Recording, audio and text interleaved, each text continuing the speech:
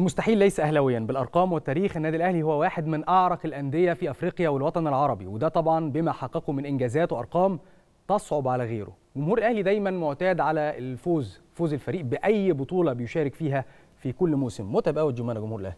طبعا عشان كده مثلا إحنا جمهور الكورة المصرية عندنا متعب بصراحة. عشان كده النهارده إحنا هنتكلم مع حضراتكم عن إنجازات وأرقام الأهلي. إيه هي حظوظه في تحقيق السوبر الافريقي؟ وهنتكلم كمان عن مشاركته في كأس العالم للأندية. معانا ضيفنا اللي نورنا في الاستوديو محمد عراقي الناقد الرياضي. صباح الخير عليكم نورنا في صباح الخير يا جمانه ازيك؟ واهلا بك يا صباح الخير. اتشرف طبعا بوجودي معاكم. أهلا بيك. آه الأرقام الحقيقة أرقام فعلا تاريخية لنادي كبير وعريق زي النادي الأهلي. آه لقب ال11 آه لو هنتكلم عن أرقام النادي الأهلي التاريخية بشكل عام قبل ما ندخل بقى في سياق المباراة وحظوظ بعد كده النادي الأهلي والتفاصيل دي خلينا نتكلم مع حضرتك الأول عن الأرقام التاريخية للنادي الأهلي. لا والله الأهلي لما نيجي نتكلم عن أرقامه أكيد هنتعب جدا يعني مش هينفع تبقى في حلقة كده أو في فقرة. أعتقد الموضوع يبقى صعب جدا إن أنت تسردي أرقام النادي الأهلي وبطولات النادي الأهلي. أنا حتى مختلف على حاجة قصة إن الأهلي أفضل نادي في أفريقيا والوطن العربي لا في العالم كمان. بنتكلم عن تاني أكتر نادي محقق بطولات قارية في العالم بعد ريال مدريد والفرق حتى حوالي أربع بطولات. فبنتكلم إن الأهلي كمان داخل في قصة إن هو يبقى أعلى من أندية العالم حصولا على البطولات القارية. إن شاء الله الأهلي كمان كان في فترة من فترات كان هو نادي أعلى نادي في وقت من الأوقات فعلا ولكن ريال مدريد في الفترة الأخيرة فرق. ولكن أعتقد كمان إن الأهلي قادر كمان إن هو يستعيد عرشه اللي هو أكتر نادي قاري أو أكتر نادي واخد بطولات على المستوى القاري. آه 11 بطولة أفريقية أو 11 بطولة قارية أعتقد رقم صعب جدا. وحتى صعب على أي حد ان هو يحققه تاني أو حد يوصل له في المستقبل القريب يعني. آه الأهلي كالعادة يعني دايما لعبوا على البطولة، دي بطولة على فكرة كانت بطولة صعبة جدا. وبطولة لو أي حد شاف الأهلي يقول لك الأهلي آخره إن هو يصعد من دور المجموعات ويخرج بعد كده من دور الثمانيه وده اللي فعلا كان آه قريب جدا إنه يحصل. لولا طبعا آه يعني استفاقة النادي الأهلي في المباريات الأخيرة وقدر إن هو يصعد عن المجموعة. ولكن معروف دايما عن الأهلي إن هو في الأدوار الإقصائية غير. يعني في الأدوار الإقصائية الفريق بيتحول لنادي تاني خالص. الفريق كان في دور المجموعات. ممكن نقول كان نادي أو فريق بيأدي أداء متواضع. ممكن نقول كده. من فعلا الأهلي كان قاب قوسين أو أدنى من الخروج. ولكن بمجرد صعود الأهلي للدور الثاني وبمجرد صعود الأهلي آه ولعب طبعا فرق كبيرة زي الرجاء المغربي الترجي التونسي وفي النهاية طبعا آه الوداد المغربي. ولكن تقريبا الثلاث مباريات أو الثلاث مواجهات الأهلي آه فاز عليهم بيهم باستحقاق وجداره شفنا حمد الترجي لما بتفوز على الترجي التونسي في, في تونس. بثلاثية أعتقد ده أمر صعب جدا. الرجاء المغربي كمان يعد دلوقتي واحد من أهم الأندية في أفريقيا الأهلي قدر برضه يفوز عليه. الوداد كمان كلنا شفنا هنا في مصر كده كده الأهلي تفوق وكسب 2-1 وهناك تعادل. يعني حتى أنت ما خسرتش تماما يعني. فبالتالي الأهلي هو في الوقت الحالي هو أفضل فريق في أفريقيا على مستوى العناصر. آه عشان كده الأهلي لما يخسر أي بطولة في الفترة دي لا المفروض آه لعيبته وإدارته وجهازه يزعلوا. لأن دي الفترة المهمة جدا إن أنت تحقق أرقام قياسية كتير. وعلى فكرة ده أمر طبيعي لما يكون فريق آه مسيطر وهو الأفضل طبيعي جدا إن هو ياخد كل البطولات القارية. وده مش دي مش بدعة ده اللي كان بيحصل قبل كده. شفنا مازيمبي مثلا لما كان على فكرة مازيمبي دلوقتي مش موجود خالص. مازيمبي في وقت من الأوقات كان أحسن فريق في أفريقيا خد بطولتين أفريقيا ورا بعض. شفنا في أوروبا كمان مش هنروح بعيد ريال مدريد لما كان أفضل فريق في أوروبا بفرق خد بطولة أوروبا ثلاث مرات ورا بعض. ودي ما بتحصلش حتى كتير. فبالتالي هو ده وقت الأهلي. أنت النهارده طبعا للأسف الزمالك طبعا بعيد وبنتمنى إن الزمالك يرجع في أقرب وقت ويكون منافس للنادي الأهلي سواء على المستوى المحلي أو القاري ولكن لحد الوقت ده هو الأهلي أفضل فريق في أفريقيا دلوقتي فبالتالي هو مطالب إن هو يحقق أكبر قدر ممكن من البطولات الافريقيه. عظيم، ليه قلت هذه البطولة كانت مختلفة شوية أو كانت صعبة مع إن مجموعته في البداية مجموعة الأهلي في البداية كانوا بيقولوا إن هي من أسهل المجموعات. ما هو ده اللي كنت بقوله لك يعني الأهلي في مجموعات. آه الأهلي في مجموعات حتى على فكرة على مدار السنوات اللي فاتت مش بيظهر بأفضل شكل، يعني مم. طول الوقت الأهلي في دور المجموعات ما بيظهرش آه، بأفضل شكل ولكن بعد كده الموضوع بيتغير، ليه المجموعة دي ليه البطولة دي صعبة؟ لا لأسباب كتير، أول حاجة إن كان في ضربة جزاء بس بتاعت قطر الطاهر دي لو كانت دخلت الاهلي كان خرج من البطولة. لما كان سان داونز بيلعب آه، الهلال السوداني فبالتالي كورة في الدقيقة 90 لو كانت داخل الجون كان الأهلي أساسا ما صعدش عن دور ال- المجموعات. آه، بنتكلم إن المباراة النهائية على ملعب الوداد المغربي. يعني آه آه الدور طبعا الموضوع اختلف عن السنة اللي فاتت، السنة اللي فاتت كانت مباراة واحدة بس بتحدد ال- البطل وكانت في المغرب فطبعا أكيد الأجواء كانت صعبة جدا ولكن برضو السنة دي الموضوع أنا شايف برضو إنه صعب جدا برضو. أنت بتلعب آه مباراة ذهاب في القاهرة ولكن مباراة الإياب المحددة للبطل في النهاية هتقام في المغرب. ومعروف عن مركب محمد الخامس إن هو من أصعب الملاعب في أفريقيا ومن أصعب الملاعب في العالم يعني. أنا رحت مركب محمد الخامس أكتر من مرة. ملعب صعب جدا. جمهور الوداد المغربي جمهور قوي جدا وشرس جدا وبيبقى مؤثر جدا جدا في صحيح. على أي فريق بيلعب آه، الوداد المغربي. بخلاف كمان إن الوداد المغربي هو البطل. يعني هو حامل اللقب. فبالتالي نادي بيلعب على آه، عنده حفاظ. على لقبه. مم. وعنده دوافع كبيرة جدا جدا. وعنده فريق محترم وعنده مدرب محترم وعنده إدارة بتدعمه آه، بشكل كبير. ولكن النادي الأهلي دايما بيظهر بقى في الأوقات دي. الأهلي لما يكون الموضوع صعب جدا ويكون الموضوع آه، معقد جدا بتلاقي الأهلي بيظهر في الأوقات دي. ده اللي حصل بمجرد ما الأهلي صعد زي ما قلنا. الأهلي ابتدى يروح في حتة بعيدة خالص لحد ما وصل للمباراة النهائية وقدر يفوز بالبطولة في النهاية. بطولة ناس كتير بتصنفها إن هي من أصعب البطولات في تاريخ النادي الأهلي. يعني ناس كتير بتحب مثلا التاسعه ويقول لك عشان كانت على آه، حساب نادي الزمالك والكلام دوت ولكن. برضو لا الناس دلوقتي بتقول إن البطولة دي بطولة صعبة وبطولة مؤثرة وجت بصعوبة جدا جدا وفتحت عشان المجال للأهلي. البدايات كمان كانت صعبة يعني البدايات كانت أحبطتنا. هو وخوفتنا هو ده شوية ال- ده اللي ده اللي خلى البطولة ليها طعم تاني صحيح آه ولكن يعني إحنا دايما يعني البطولات القارية أنا شايف دلوقتي إن الأهلي ورغم الزمالك ورغم إن الزمالك مش في حالته ولكن برضو الزمالك مش بعيد يعني الزمالك على مستوى الأفريقيا آه لا هو أفضل من فرق كتير جدا جدا في أفريقيا دلوقتي. فإن شاء الله الزمالك مع بعض التنظيم وبعض لما يعني يستعيد عافيته شوية هيكون منافس قوي برضو للأهلي في بطولة أفريقيا. طيب آه برضو يمكن من الحاجات اللي شفناها مؤخرا وخلينا نقول هي كانت زيادة مش هقول جديدة بس كانت واضحة قوي آه بعد فوز الأهلي المرة دي المباركات العالمية بقى كم الصحف أو حتى من الأندية العالمية مباركتهم للأهلي. شايف ده قراءتك ليه إيه؟ يعني ده مش أمر جديد ده بيحصل سنويا مش جديد. بس كان واضح قوي آه السنة. يعني طبعا عشان أنت عارفة لما بتبقى بطولة يعني فاهمة دلوقتي في الوقت الحالي كل سنة بتتطور ال social media وكل سنة الأندية حتى في العالم بتخاطب مشجعيها في العالم كله السيتي دلوقتي مثلا كان من الأندية ما كانش ليها مشجعين كتيرة في العالم دلوقتي السيتي بقى يكسب وياخد بطولة. أوروبا فبالتالي بقى ليه مشجعين فأكيد هيبقى حريص على آه الناس اللي بتشجعه في المنطقة العربية وفي مصر كمان بالتحديد فبالتالي أكيد هيبقى حابب إن هو يعني يظهر قدامهم إن هو بيشجع أو بي بيؤازر النادي بتاعهم. آه نفس الكلام بقى الأندية العالمية التقليدية اللي هي بتوجه التحية دي ده أمر تقليدي بين آه الأندية في العالم كله. ولكن آه الأهلي فوزه بالبطولة دي يعني أعاد للكرة المصرية جزء من بركه إحنا بنتكلم النهارده المنتخب للأسف ما كانش متواجد في بطولة كأس العالم الأخيرة. الأهلي السنة اللي فاتت أو الكرة المصرية ما خدتش بطولة أفريقيا السنة اللي فاتت. يعني الدنيا ما كانتش أفضل مش ماشية بأفضل شكل في الفترات الأخيرة. دايما كده يقول لك الفوز بيجيب فوز والبطولات. بتجيب بطولات. فلما نلاقي النهارده إن فريق خد بطولة أفريقيا وما أدراك ما هي بطولة أفريقيا بطولة كبيرة وبطولة مؤثرة وزي ما يعني جمانه كانت بتقول إن العالم كله بياخد واخد باله منها وبيقدم المباركات فيها. فبالتالي أنت خلاص ابتديت ترجع تاني على الساحة إن أنت أنا بكلم كمصر دلوقتي مش بتكلم كنادي الأهلي. إن أنت رجعت تاني آه، مؤثر أو قوة كبيرة في كرة القدم الحمد لله إحنا كده كده قوة كبيرة ولكن مفهوم. ابتديت ترجع تاني لقصة منصات التتويج. دي نقطة مهمة. للأسف أنت ما حالفكش التوفيق في بطولة أفريقيا وصلت المباراة النهائية. آه، ما حالفكش التوفيق في كأس العالم وبرده في المباراة الفاصلة النهائية قدام السنغال وكانوا تقريبا كل المواجهات للأسف آه، قدام السنغال. آه، فبالتالي كان عندك سوء توفيق. كان البطولة دي برده يعني برده بجانب طبعا يعني قوة النادي الأهلي كان في توفيق.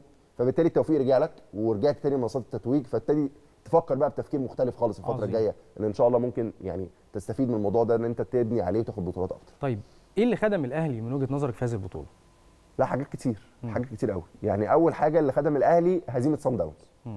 يعني الفريق تعرض لصدمة كبيرة جدا إن أنت تتغلب من فريق زي صن داونز بخماسية تاني يعني في كام سنة بتتغلب من فريق بخمسة مرتين دي شوك للجيل الحالي لأن الجيل الحالي ده هو اللي اتهزم مرتين من. صن داونز بخماسية والأهلي الأهلي ما بيتغلبش اثنين يعني ما بيتغلبش اثنين فبيتغلب خمسة ومن نفس الفريق وعلى نفس الملعب وتقريبا نفس اللعيبة. فكان زي بمثابة عارف انت لما تحس بصدمة كبيرة بس الصدمة ما توقعكش صدمة تفوقك صدمة تخليك تحس إن أنت محتاج آه، تعوض جمهورك تعوض نفسك تدافع عن نفسك أنت كلاعب لأن أنت كلاعب ممكن يعني تحكم على نفسك بالنهاية ولكن صن داونز كان ليها أو مباراة صن داونز كان ليها دور أو عامل السحر في وصول الأهلي للنقطة دي. آه، يعني برضو قصة إن كل حاجة لعبت لصالحك. زي ما قلت لك قطر الطاهر وضربة الجزاء اللي ضاعت والنتائج لعبت في صالحك. فبالتالي أنت شايف إن التوفيق معاك. لأن أنت ممكن لو ما كانش توفيق معاك كان ضربة الجزاء دي دخلت كنت خرجت من دور المجموعات والموضوع خلص. آه، دي بتتحس دايما لما تحس إن إن كان في عراقيل والعراقيل دي اتحلت فأنت تحس كده بأريحية. تقول لأ دي ماشية معايا. البطولة دي بتاعتي آه. البطولة دي بتاعتي. آه الله ينور عليك. اللي هي من الأول كده البطولة دي بتاعتي. فبالتالي بتلعب وأنت عندك ثقة إن متسهله فدي برضو نقطة آه تانية مهمة جدا. تالت حاجة إن خلينا معترفين إن مستوى الفرق في أفريقيا دلوقتي مش في أفضل شكل. يعني دلوقتي آه، الفرق الأفريقية مش في أعلى أو مش في أفضل حالاتها. دايما الفرق اللي بتمثل قوة كبيرة الترجي التونسي مثلا. فين الترجي التونسي؟ بعيد جدا. هنقول الزمالك أنا بتكلم طبعا بخلاف الأهلي يعني. بنقول الزمالك الزمالك برضه في الفترة دي بعيد. آه بنتكلم مثلا عن آه ود- مازيمبي. بعيد. بنتكلم عن آه سان داونز من سان داونز الوداد آه خرجه يمكن كان هو المرشح الأكبر للفوز بالبطولة ولكن يعني الحمد لله الوداد هو اللي خرجه. حتى الوداد المغربي مش في أفضل أحواله. يعني إحنا لو شفنا ورجعنا المباراتين كده آه، بشكل يعني في آه تحليلي شوية لا هنلاقي الوداد مش في أفضل أحواله. الوداد بتاع السنة اللي فاتت بس كان أقوى من كده. مع وليد الركراكي المدير الفني بعد كده اللي اللي هو فاز معاهم بدوري أبطال أفريقيا بعد كده انتقل لتدريب المنتخب المغربي. طبعا حقق يعني نتائج مبهرة. مع منتخب المغرب في كأس العالم طبعا زي ما شفنا يعني. فبالتالي انت عندك حاجات كتير مؤثرة. هتقول لي وفي حاجة تانية مهمة ما ننساهاش كولر. مم. إحنا النهارده إيه اللي اتغير من السنة اللي فاتت للسنة دي؟ اللعيبة هي هي. نفس الملعب ده على فكرة الأهلي خسر فيه بطولة أفريقيا السنة اللي فاتت. هو هو. نفس الملعب بنفس عدد الجمهور بنفس اللعيبة هنا وهنا كل حاجة. الحاجة الوحيدة اللي اتغيرت على المستوى الفني دلوقتي أنا بتكلم هو كولر هو كان قطعة الشطرنج اللي ناقصة. كان دايما يقول لك اللعيب وبادئ من. أول مباراة من الاتحاد المنستيري مظبوط. لا أنا بقول لك كان دايما يقول لك إيه أصل ال- اللعيب الفلاني هو اللي ناقص النادي الأهلي تشكيلة النادي الأهلي. لا أنا شايف إن أكبر صفقة الأهلي عملها هو كولر مع العلم إن أنا من الناس اللي بتحب موسيماني. يعني أنا مش مش مختلف مع موسيماني. موسيماني الراجل جه في فترة صعبة عمل نجاحات خد بطولة أفريقيا راح كأس عالم أندية. آه، يعني الراجل عمل نجاحات ما حدش ينكر ده. فبالتالي كولر بس كولر لا الموضوع مختلف تماما. راجل عنده اتزان كبير جدا راجل عنده خبرات كبيرة جدا جدا آه، عارف يوظف لعيبة كانوا بعاد جدا وشوف وكانوا مؤثرين يعني كانوا بيمثلوا آه، عبء كبير على النادي الأهلي. دلوقتي هم نجوم النادي الأهلي. صح النادي الأهلي كان. بيفكر في الخلاص من بعض ال- الله ينور. عليك. يعني مش لدرجة الخلاص بس لدرجة إن كان في لعيبة كل ما يلعبوا كانوا بيتعرضوا لضغوطات كبيرة جدا من الجمهور وإن هم ما بيأدوش بأفضل شكل. تعال نرجع كده من ورا. ونتكلم عن محمد هاني. مدى الانتهاكات اللي كان بيتعرض ليها بصراحة. حسين الشحات. حسين الشحات الله ينور عليك. بتتكلم في أليو ديانج كان في مستوى كان قاعد على الدكة وما كانش بيقدم مم، بأفضل بيرسي تاو. بيرسي تاو اللعيب بتاعه.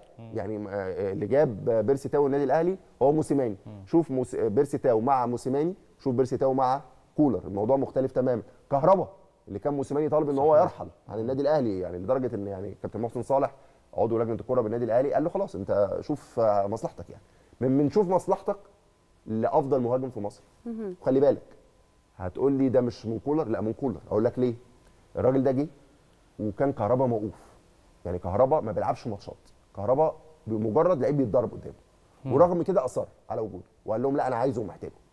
ده يدل على إيه؟ ده يدل إن الراجل مش بياخد باللقطة. صحيح. أو مثلا ده ده لعب كام ماتش وجاب كام جون فسابه. لا. ده هو الراجل من التدريبات شايف إن هو واحد من أهم اللعيبة. وشايف إن هو يستحق الاستمرار في النادي الأهلي عشان كده أوصى إدارة النادي الأهلي بإيه؟ بالابقاء عليه وإن هم يشوفوا إيه المشكلة بتاعته وتتحل ويقعد. فبالتالي الراجل كمان عنده نظر. يعني يشوف لعيب زي كهربا ده ويقعد ونشوف بقى كهربا عمل إيه بعد كده. كهربا ليه دور كبير جدا جدا في فوز الأهلي ببطوله دو- دوري أبطال أفريقيا. كهربا ليه دور كبير في فوز الأهلي أو اقتراب فوز الأهلي من بطولة الدوري العام.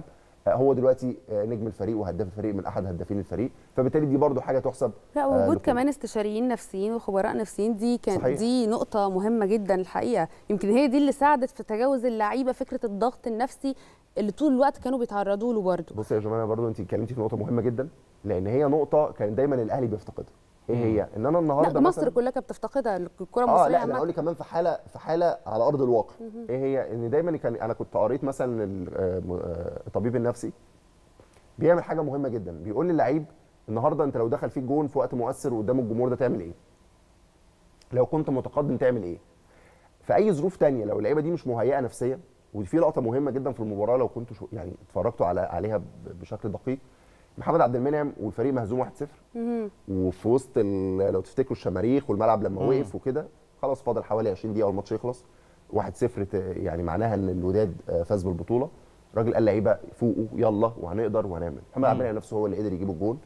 دي ده دكتور طبيب نفسي. إن أنا النهارده وأنت مغلوب وأنت مهزوم وداخل فيك هدف والظروف صعبة جدا وجود وأنت ضغط حواليك. ضغط حواليك وحاسس إن البطولة بتبتعد.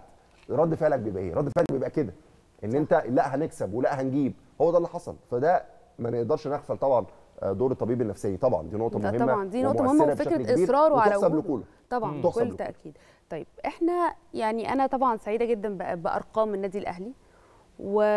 و... بس أنا دايما بحب أبص لما بعد الأرقام. يعني أنا ما بحبش أقف عند الانتصارات فقط. أنا بشوف إيه اللي أقدر أبني عليه فبالتالي لازم أرجع خطوة لورا أبص من بعيد أشوف إيه نقاط الضعف اللي عندي عشان أقدر أتجاوز وأحقق انتصارات أكتر وما أقفش عندها إحنا النادي الأهلي المفروض خلاص إحنا كأس العالم للأندية ولازم يكون عندي أبني كده آه، فريق أقوى كمان مؤهل أكتر وأكون عارف نقاط نقاط ضعفي كويس جدا عشان أقدر أحلها عشان إحنا محتاجين نشوف النادي الأهلي في أفضل شكل ممكن. صحيح وخلينا واقعيين زي ما قلنا نفس اللعيبة نفس المدير الفني نفس كل حاجة. في بداية نفس البطولة الأداء ما كانش في أفضل. حال.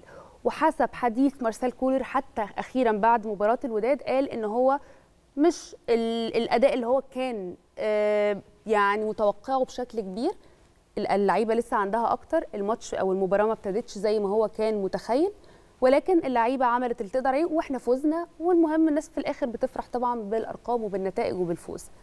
بس أنا دلوقتي مش بتكلم على الفوز أنا بتكلم على الأداء. يعني بصي أقول لك على حاجة. يعني ممكن نتكلم في الأداء ده لما نكون بنتكلم في الدوري أو بنتكلم في بطولات آه، يعني قليلة. أنا شايف أنا انت طبعا كلامك مظبوط طبعا دي ما فيهاش كلام. بس أنا بتكلم على قصة إن إحنا نيجي نقول النهارده أصل أداء الأهلي ما كانش أفضل شكل وهو واخد بطولة دوري أبطال أفريقيا. كلام ممكن يكون على أرض الواقع مش هينفع مش هيبقى مستحب دلوقتي. بس أصل ده بتتكلمي في نقطة مهمة. على المدير الفني. لا لا انت بتتكلمي في نقطة مهمة. لا تانية. ما هي النقطة دي مهمة في حاجة تانية. انت النهارده رايحة على بطولات أقوى. بالظبط. يعني رايح على بطولة كأس العالم للأندية. فبالتالي أنت ممكن يكون ليك طموحات أكبر. أنت النهارده أعلى آه يعني مركز وصلت له في بطولة كأس العالم للأندية في مشاركاتك السابقة كان المركز الثالث. فبالتالي أنت دلوقتي حلمك الصعود للمباراه النهائيه على الأقل إن أنت تصعد للمباراه النهائيه أو تفوز طبعا بالبطولة. فبالتالي هو ده الحلم بتاعك. هتقولي لي الحلم ده أو ال- التفكير ده محتاج إيه؟ آه طبعا محتاج شغل على الأرض قوي جدا جدا على مستوى الصفقات. أنا عارف أنت أكيد بتروحي عايزة تروحي للجزئية دي. مظبوط. هل الأهلي شايف دلوقتي إن هو خد البطولة وهيرتكل لكده؟ لا طبعا. أنا بقول لك إن والاهلي بيلعب نهائي دوري أبطال أفريقيا في جزء أو قطاع داخل النادي الأهلي بيفاوض لعيبة. والأهلي بيلعب النهائي. يعني أو في وقت ما الأهلي بيلعب النهائي. يعني لا الأهلي نادي محترف ونادي آه، يعني عنده آه، كوادر مهمة جدا عارفة بتعمل إيه كويس جدا. هتقولي لي الأهلي ناقصه إيه؟ لا الأهلي ناقصه كتير. الأهلي ناقصه مهاجم يعني أجنبي وده برضه نقطة. أشار ليها برضه مارسيل كولر. هو الراجل ما جابش المهاجم الأجنبي اللي هو عايزه. هو يعني كان في أكتر من فترة انتقالات كان في لعيب اسمه مارسينهو بعد كده لو تفتكري موليكا يعني أكتر من لعيب كان المفروض يتعاقد معاهم وحتى كان جاب لعيب اسمه يعقوبو في فترة الانتقالات اللي فاتت ولكن آه يعني لما جه عمل اختبار طبي ما نجحش فيه. فبالتالي كده كده فكرة إن أنت جبت مهاجم أجنبي دي فكرة مش في الحسبان لأ ده على أرض الواقع حصلت. وأنت كده كده شايف إن أنت لازم تجيب مهاجم أجنبي ومش أي مهاجم أجنبي. مهاجم أجنبي يكون فارق. وكولر كمان من المدربين اللي هو لا يقبل بأنصاف الحلول. لما يجي يتقال له مثلا أنت هجيب موليكا أنا عايز موليكا okay. طيب موليكا مش متاح فخد آه، عبد صمد وعبد صمد ده هو شايفه مش آه، مش خيار مهم أو مش هيمثل لي إضافة. لا مش عايزه. وعملها في أكتر من مناسبة.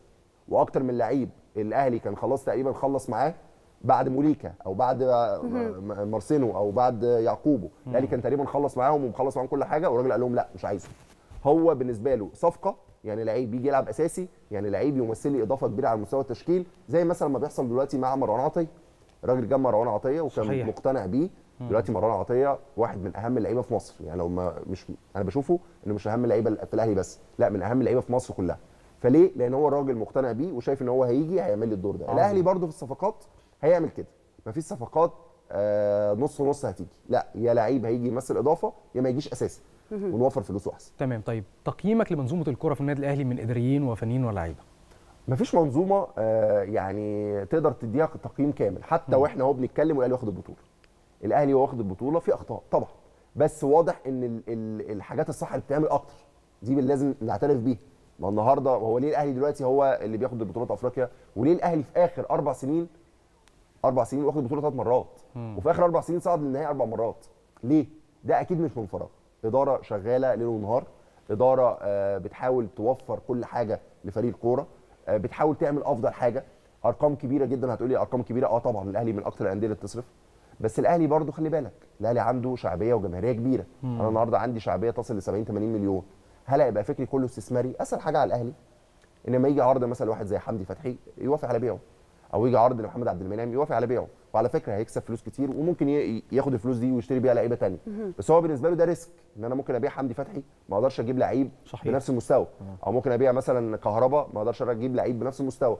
فبيبقى تفكير إدارة النادي الأهلي الأساسي هي إيه؟ دي بقى النقطة محمد لما بنتكلم فيها فكرة إنه يمكن إدارة النادي الأهلي مدركين لفكرة أهمية النادي الأهلي بالنسبة لجمهوره، زي ما أنت مظبوط. قلت كلمة مهمة جدا هو كيان، وإحنا لما بنيجي نتكلم على نقط ضعف في الأهلي إحنا مش بنقصد إن إحنا نسلط الضوء على نقط الضعف بالعكس، يمكن إحنا بنحاول نشوف إيه اللي ناقصنا عشان نقدر نكمله، إحنا فعلا حققنا فوز، محتاجين نوصل لفوز أكبر وأكبر وأكبر، لا يمكن ده كل اللي إحنا كلامك صح مليون المية. بس أنا بشكرك طبعاً. بتكلم لا صح كلامك صح. هو كلامك مظبوط طبعا إن أنت في عز ما أنت كسبانة وفي عز ما أنت في في نشوة الانتصار. بتفكري في اللي جاي. صح. طبعا ده يمكن التفكير دي ده تفكير النجاح. أنا بشكر حضرتك جزيل. شكرا جزيلا. الشكر طبعا محمد عراقي الناقد الرياضي نورتنا في صباح الخير. شكراً جزيلاً ليك. شكرا جزيلا.